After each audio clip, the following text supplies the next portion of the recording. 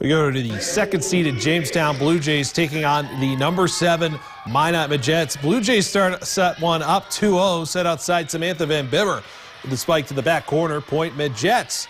Later, Jamestown up five. Benet Franck look for the spike, but Rachel Mwanko, the big block rolls the rolls down the net. Minot down by four. Blue Jays now up nine, though. Long rally between the teams. Defenses show up. McKenna Knoll, big spike straight down. Jamestown up 10. Set point for the Blue Jays. Set outside. Nold again with the spike. This time off a defender to take set one. Jamestown wins a tough battle in four. The nightcap, the host school Dickinson taking on Legacy. Set one early. Sabres up 2-0. Set outside Hallie Severson. Monster spike. Boost Legacy to a 3 uh, no 3-0 run. Midgets down five. Pass outside. Jenna Decker. Big slam back over the net. Sabres, Sabres unable to return. Dickinson down four.